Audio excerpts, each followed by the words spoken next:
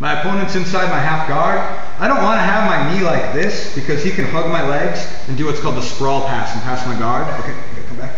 So I keep my shin up so he can't do this. I also don't want him to cross face me, so I'm going to control this arm here and I'm going to stay on my side, preventing him from underhooking my arm as well. I'm going to straighten my leg, bring my head towards his body here. Now I scoop back and I put my hook here. Now I'm going to relieve my other leg, and I'm going to make an X. Fall back and I'm going to lift him and I have a very easy elevator sweep. Let's show that again. So I'm here, a lot of steps, really important move.